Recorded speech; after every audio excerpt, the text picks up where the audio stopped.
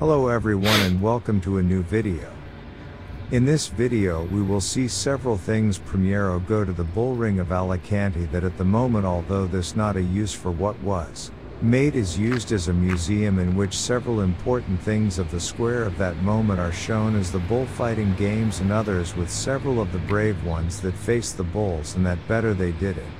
After that we will see a natural park that is next to the train station and then on the way to the central market of Alicante but it will not be in this video but in the next one so if you want to see it as soon as possible subscribe and activate the little bell to see the video as soon as possible.